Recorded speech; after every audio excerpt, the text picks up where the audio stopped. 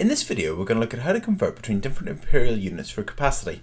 Here we've got a pint of milk. Quite often if you go into a shop you can buy a pint of milk and a pint is an imperial unit of measurement for how much liquid is in the container or how much milk is in the container. Here we've got a gallon of milk. A gallon is another imperial unit. Um, if you go into a supermarket in um, America or Australia, you may see gallons of milk, really large containers. And actually, a pint or eight pints is equal to one gallon. So one gallon is eight pints. So eight of these smaller pints will fit into one of these larger gallons. So to convert between pints and gallons, well, to go from pints to gallons, you divide by eight. So for instance, if you had eight pints, divided by 8 is equal to 1 gallon.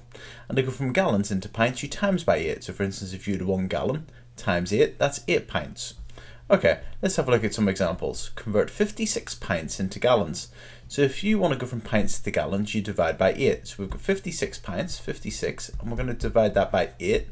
And 56 divided by 8 is 7. So that would be 7 gallons. So that means that 56 pints is the same as 7 gallons.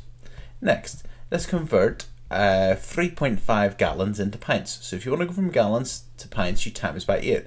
So we're going to do 3.5 times 8. Well, 8 times 3 is 24, and 8 times a half is 4.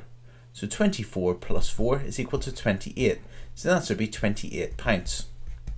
Okay, so that's how you do it. So if you want to convert between pints and gallons, well, from pints to gallons, you divide by 8. To go from gallons to pints, you times by 8.